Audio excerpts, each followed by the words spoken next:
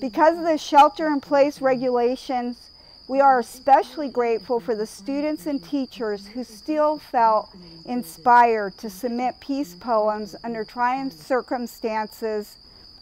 We are sad that we cannot meet together to hear these enchanting poems read aloud, but grateful to be able to share some of the poets reading their poems here.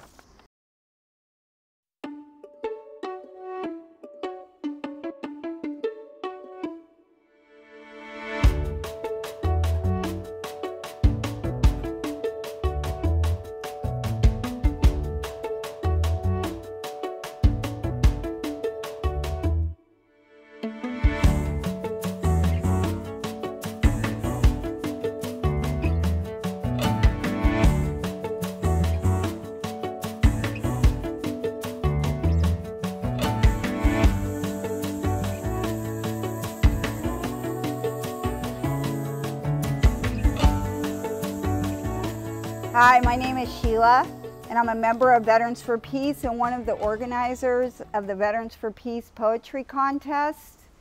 Uh, welcome. I hope you'll be as inspired by these poems as we were when we saw all of them, all 200 that were entered. First, I'd like to thank Olivia Reagan Hunter for her wonderful music. Veterans for Peace would also like to thank Deborah Hendrix from UF Samuel Proctor Oral History Program, who received the poet videos that you'll see and wove them together into a poetry reading and celebration. We would like to thank all the student poets who wrote poems and were interested in expressing their ideas about peace and social justice. We had over 200 extraordinary lovely poems submitted for this, our 11th Peace Poetry event. Every year, Veterans for Peace notices a theme that runs through many of the poems. The last two years, many students focus on safety in the classroom and trauma associated with the fear of being shot at school. The past few years, including this year, there have been many environmental and climate change poems submitted. A new theme this year addressed COVID 19 and the belief that being a good citizen means observing the shelter in place regulations. We were encouraged by the maturity expressed in these poems and, of course, blown away by the beauty of all 200 of the poems submitted. The 2020 Peace Poetry book is also posted on our website and you can read and download the poems there. Veterans for Peace is involved in many peace activities through the year.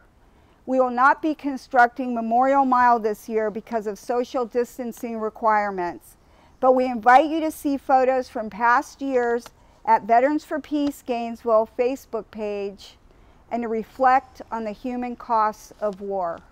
Thank you. I hope you enjoy the poems.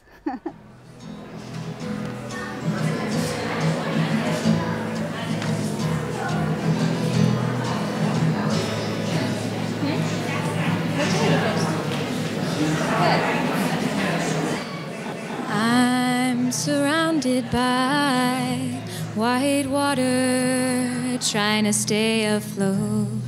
Trying not to rock the boat, but I fell out.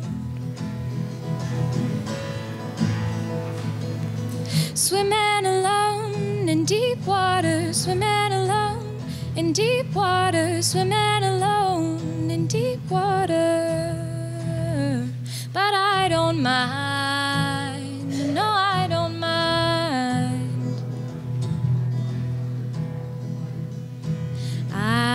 Surrounded by water on all sides, going with the flow, going with the tide. I'm not trying to resist, and I'm not holding back. I let myself go. I let myself go. Swimming alone in deep water, swimming alone in deep water, swimming alone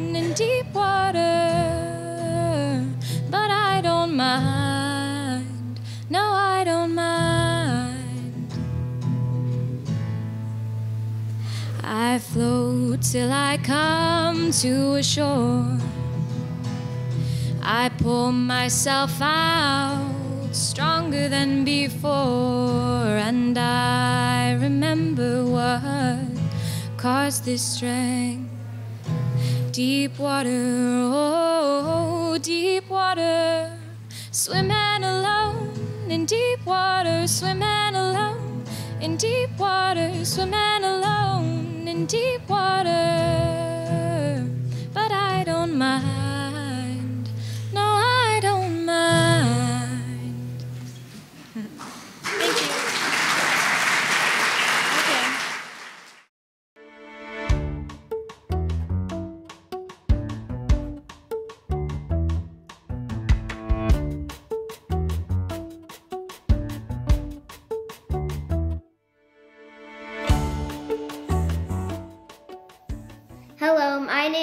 Cruz Davis, and I come from Jordan Glen School and Summer Camp. I am nine years old, and my poem is Peace. Peace is eating, eating is fun. I like a hot dog with a delicious bun. But don't pollute, it's toxic. Soon it'll turn chaotic. Plastic is bad, it makes animals sad. It makes animals die, soon the ocean will be dry. Don't kill deer because they're the ones with fear. It's against the law to kill so raw. Be good to the earth and nice to the trees. Once in a while, they'll give you a breeze. Don't waste paper, energy, and don't use trucks with smoke. Soon the whole world will be broke. Thank you. Hello, my name is Stanley Jose Cruz Davis, and I'm from Jordan Glen School, and I'm nine years old. And my poem is Peace. Peace is love, peace are doves. Peace is when I hear the rains pitter patter on the roof. All of a sudden, peace goes away. I hear bang, I hear clang, I hear screaming. The sun is not gleaming. It's dark. I hear silence. The war has ended. Some people are offended. We have lost. They are the boss. We don't like it, but we can't fight it. Some people die, even though we try. Now there is peace. The sun rises again. People hug and kiss. There is peace. We can live in peace. Thank you. By Migo Shitama. I hear a loud bang, then I walk out the door. I step into chaos, breathing ash from the war. Innocent people are fleeing from their homes. People are being separated because of skin tones. People's hearts are turning charcoal black from the emotion that we lack. Our wine red blood is now being wasted. We're throwing out food that hasn't been tasted. We are wasting our time holding grudges against friends. When will this cruelness come to an end? I am waiting for a day this will finally stop. Social justice will be back on top.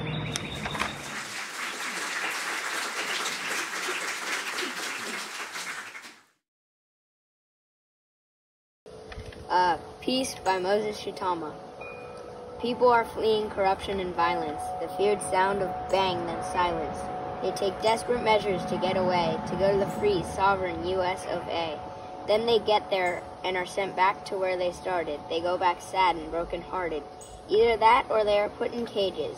Parents get separated from children of all ages, but we can make some changes. Let's start by not putting immigrants in cages and start giving them living wages. Also, let's not send them away because I think they should be here to stay. Hello, and my poem is called Save the Environment. You notice a bag floating in the sea. Should you yank it or let it be? You decide to leave it or play with it for a bit. But it will go back in the water and get eaten by a bird's daughter. What will happen to the? Will it keep eating till it is full? The bird keeps eating plastic bags. Then later it starts to gag. It coughs and retches, and its father it fetches. Is it time to say goodbye? Is it going to die? Down it lays on its bed. Three hours later it is dead. Too much gas will it pass? Airplanes are the problem. Just look at all of them. It's global warming and all that heat that is forming. Do you notice that homeless penguin? Will he ever see his home again?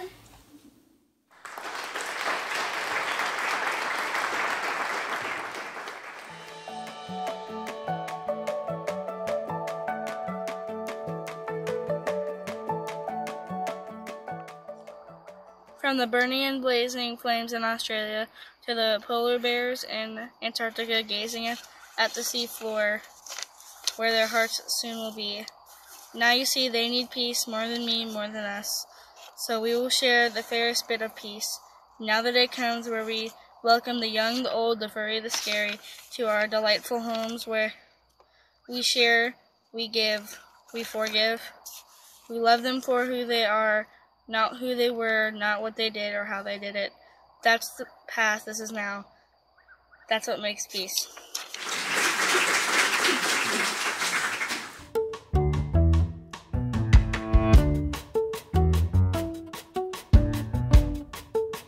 Peace is the world for every young boy and girl. Why we have friends, our hearts beat, beat again. So stay calm, all the bad things are gone. Peace comes early, hate comes late. Peace is courage all the time even in this little rhyme. You just need to find it in your heart, like a Sour Patch Kid. Life is sour, then it's sweet, so find someone else to greet. Like I said, peace comes early, hate comes late. Peace is what brings us together, forever and ever. Like trees and grass, our teachers in class, life learning skills for fish skills. With all these wonderful thrills, peace is the world for us.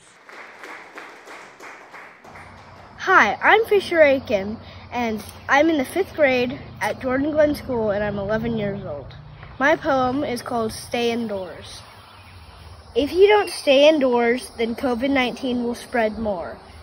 As it continues to spread, more people are dead. You may think being at home is boring while, while other people in Italy are mourning. It is not a Chinese virus that you may think. When people say it, it's racist and stinks. We need to spread peace and love from six feet apart. If you're bored, then make some art. If you stay indoors, COVID 19 will be no more. Thank you. Hello, my name is Asher Case, and today I will be reading you my poem, I Still Believe. Peace is a gift that has not yet been given. Peace is a car that has not yet been driven. Peace is what should end every war. Peace is what we're all looking for. Although we haven't succeeded just yet, I still believe. Peace is a contract that has not yet been signed. Peace is a word that has not yet been defined. Peace is what runs through you and a friend. Peace is what causes all the suffering to end. Although peace has taken its time, I still believe.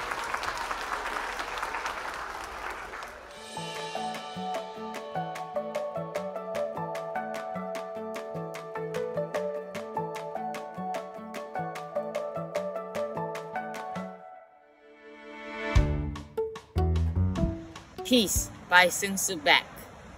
Peace is like broken house. When you fix some part of the house, some parts break. It loops. If breaking continues, it will be end of the house. Also end of the world. Peace is strange. People like peace. They hate peace too, because they can live better when they win the fight. If this continues, it will be end of the house also end of the world.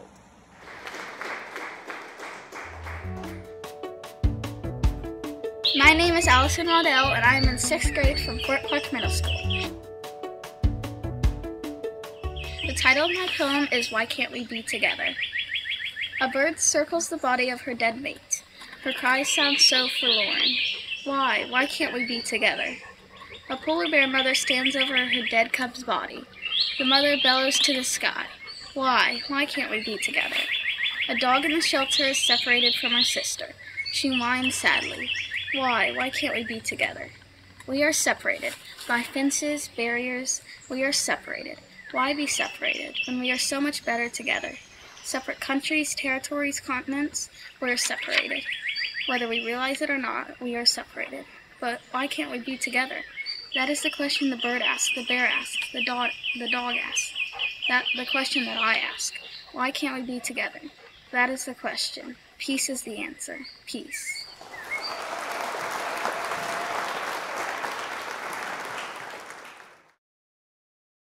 Hi, I'm Geeta Pragash, and I'm a 7th grader from Jordan Glen School. We have ruined this place. We have done so much wrong. We are corrupt, yet Mother Earth stays strong. We've treated this place like it is our own, when thousands of species call this planet their home. Humans have littered the surface with an abundance of pollution, and nobody is able to figure out a solution. As we split apart families, as we take away lives, we ruin the place Mother Earth gave us to thrive. We blindly lead her into death and decay. Powerless, she can do nothing to escape her fate. She is crying out for anyone to see. She is crying out for all that she needs. She is helpless. We have been careless. Thank you.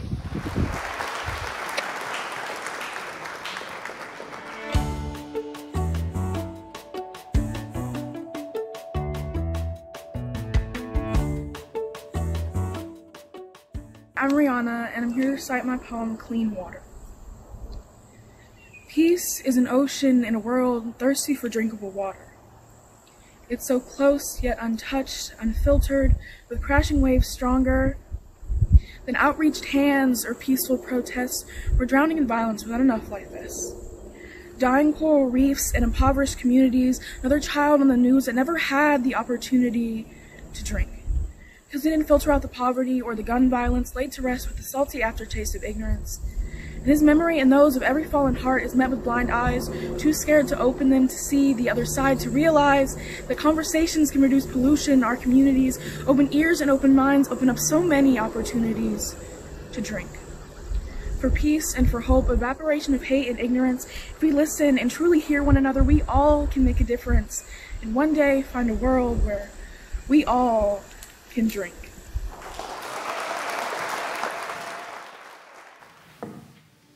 This is a song I wrote a while ago. Um, it's called Safely Away.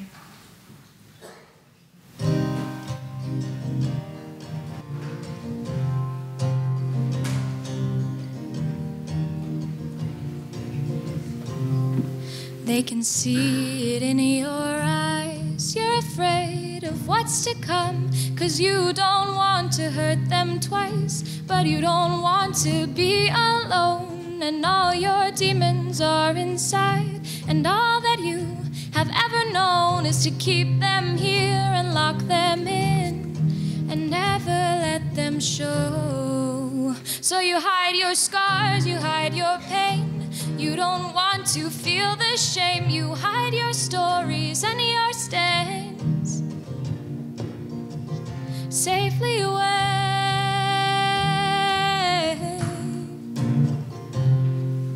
But the words of those you love cut you straight down to the bone. And how can you stop running when it's all you've ever known? And your heart is in a coffin made of cold and hollow stone, and you're alone. You're alone, but you hide your scars, you hide your pain. You don't want to feel the shame, you hide your stories and your stains safely away.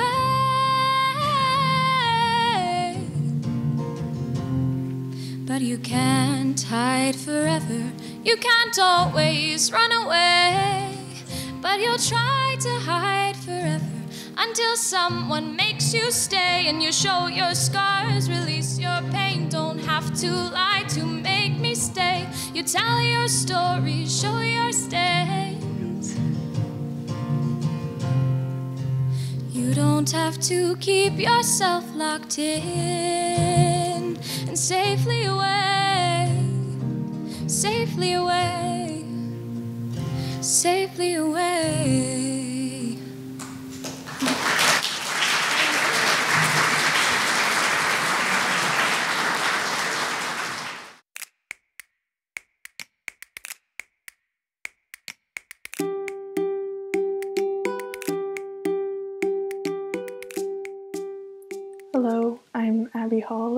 Be presenting my poem, What World?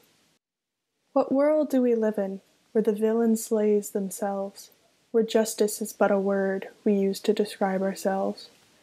One in which we fear someone's around the corner, so scared of death we hold guns on our shoulder.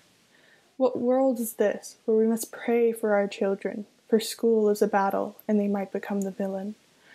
What world do we live in where love has labels, where people are punished for loving who makes them stable? What world so beautiful to give us love, to give us hope? What world so cruel to watch us burn for them to cope?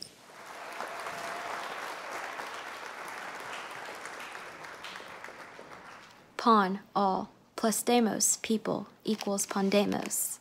Just as Plato said, the soul, helpless. That's how it feels to all who are trained to help but destined to fall against this biological wonder. It's smart, it lives, it mutates, it gives our world subject to its plunder. But the heroes, outnumbered they be, low in supplies and spirits, but with a vision to see, they come together on the front lines, and for good use their hands, their hearts, their minds. Stay home for them as they stay there for us. We help as one through our community.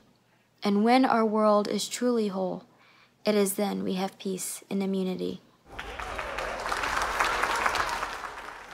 Hi, my name is Jacob Sandor McNamara, and today I'm going to be reading my poem, Refugee from Damascus. Refugee from Damascus. The heat of the sun warms the tattered plaid that hangs from the back of that young lad who warbles to passers-by like a desperate bird, clutching the shoe polish and the brush that earns him his keep, competing amid a cacophony of cries this side of the Corniche. His brother was conscripted by insurgents to fight, lured by promises of prosperity and justice.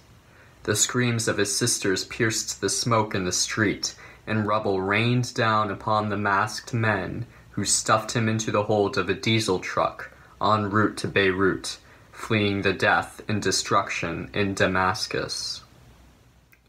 His father told him not to return without bread, so he lies on his side in an alley behind a restaurant in Hamra. His ears bleed onto the concrete he watches as a trickle scales the slope of his sewage grate, staining bronze a stray cigarette butt in its wake. The sun hangs in the sky like fruit, elusive as sunset gives way to the hungry, bitter night.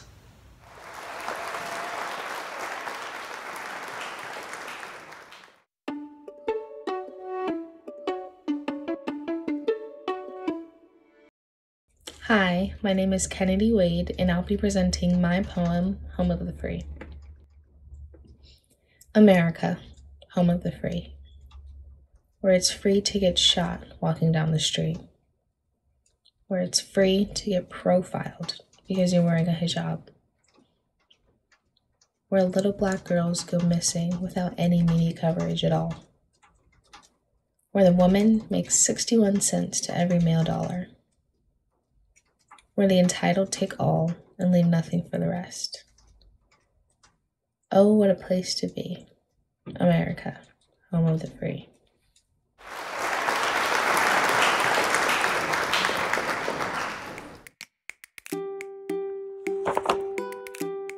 What if wars were fought with paint?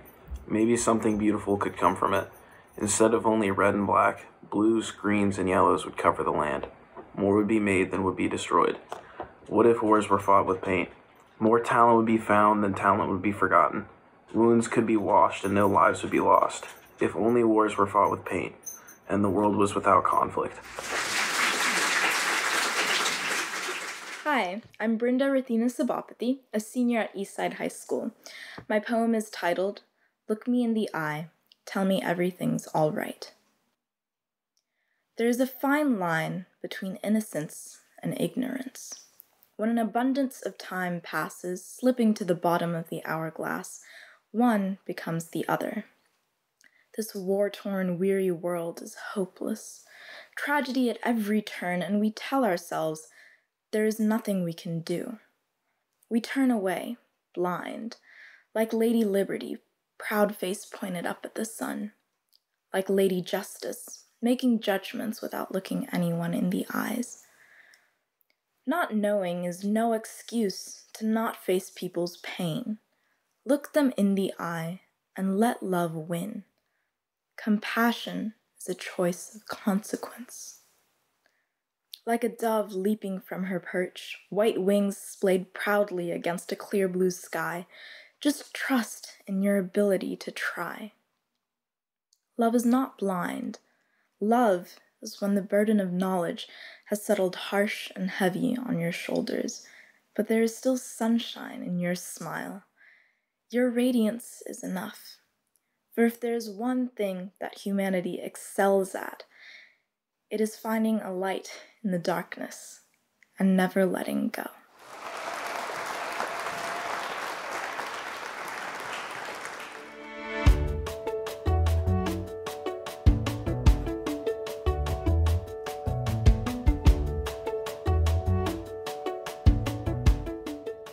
The world was once a happy place, the Amazon rainforest teeming with life, plants and animals going along at their own pace, and wildlife coexisting without any strife.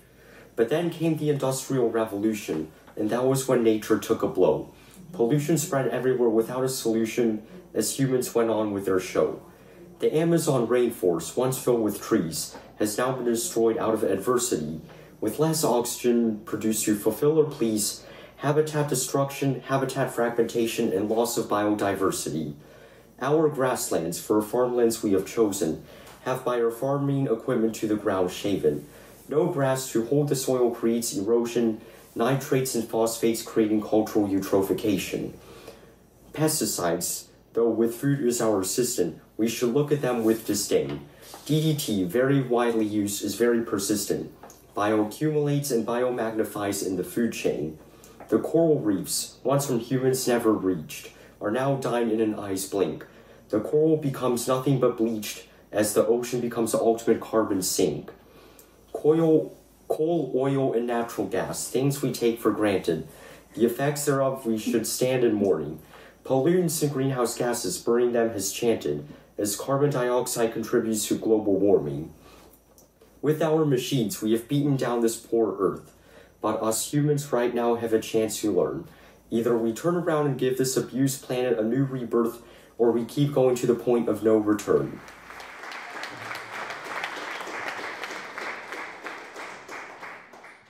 War of Attrition. What is love? It's the flutter in the chest when someone walks in the room. It's the pain felt when that person leaves, the strength ebbing away with each step. The smile that runs across lips when two people talk, the graze of two arms as they walk. It's the have a great day as the school bus rolls away, and the hugs and chatter shared at the end of the day. It's the rings on a pair of left hands, the promises, for better or for worse. What is war? It's the death of the flutter that began at the barrel of the gun. It's the pain of the bullets in his chest and their home. The smile that runs away when men in uniforms show up at the door. The graze of strange hands on black clad shoulders, in the face of a black backdrop future with a purple ribbon silhouette. It's the uncertain I'll see you later as the camo packs right away, and the silence of the dinner table at the end of the day. She wonders if the other half to their pair of left hand rings is somewhere lying in the dust, the promise for worse coming to life as the blood mingles with the gold ring rust.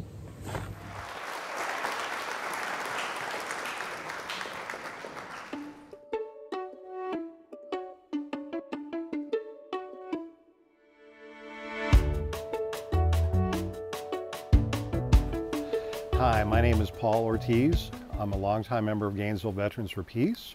Um, it's my great privilege to be able to announce the 2020 Gainesville Veterans for Peace Peace Scholarship Program recipients. Um, this year we received really outstanding uh, contributions. A lot of uh, really outstanding students uh, submitted proposals um, or applications for the Peace Scholarship. Gainesville Veterans for Peace started the Peace Scholarship six years ago. This is our sixth annual Peace Scholarship um, uh, competition. We design it in tandem with the Peace uh, Poetry Contest. We're trying to promote peaceful pathways, uh, students who are uh, embarking on peaceful careers and careers dedicated to nonviolence and social justice. So it's my great privilege to read to you the names of the three recipients of this year's Veterans, Veterans for Peace Scholarship winners. And this scholarship comes with a $1,000 um, cash prize or a check, uh, I should say. Our first recipient is Alara Gainey. Alara Gainey is a dual enrollment student at Santa Fe College and Gainesville High School's Academy of Health Professions program. She's the president of the Gainesville High School Spanish Honors Society. She's used her position in leadership to speak out publicly against violence in schools, including giving testimony about bullying at the Florida Department of Education. Alara was an environmental ambassador at the Cultural Arts Coalition in Gainesville in the summer of 2018. Ms. Gainey plans to earn her Associates of Science degree in nursing at Santa Fe College and to eventually become a doctor. Our second recipient of the 2020 Veterans for Peace Scholarship is Brianna Michelle. Brianna is a dual enrollment student at Eastside High School and Santa Fe College. She's majoring in biology with a minor in agriculture. She plans to use her degree to, quote, continue my research about the various disparities affecting our world, including food, medical, nutrition, health, and poverty. Brianna has volunteered at St. Francis and Grace Marketplace since 2015. She received a gold award from the Girl Scouts for developing a tutoring program for youth in homeless shelters. In addition, Brianna received a National Borlaug Scholarship in 2019 for bringing awareness to social disparities in Haiti. Our third recipient of the Veterans for Peace Scholarship Prize is Lily Orton. Lily is a senior at Buchholz High School. While holding down a part-time job, Lily has been active in student government as well as Organization Days for Girls, which supplies menstrual hygiene kits for girls. During her sophomore year, she went on a medical mission trip to Guatemala. She also visits with senior citizens and nursing homes. She will be attending the University of South Florida to earn her degree in marine biology. Her goal is to become a marine biologist who works on the conservation and rehabilitation of Florida's ecosystems and the animals that live in them. So please join me in congratulating the 2020 recipients of the Gainesville Veterans for Peace Scholarship uh, Program Award. And in closing, I want to encourage all those watching, students, parents, and teachers, to spread the word about Gainesville Veterans for Peace, our Peace Scholarship Program. Uh, we will be offering the Peace Scholarship next year. We need your support. And also, please let students know, uh, students on any level, uh, high school students, college students, students planning to attend a vocational program, um, you are all eligible to enroll, uh, to participate, or to apply for the Gainesville Veterans for Peace Scholarship. Thank you so much.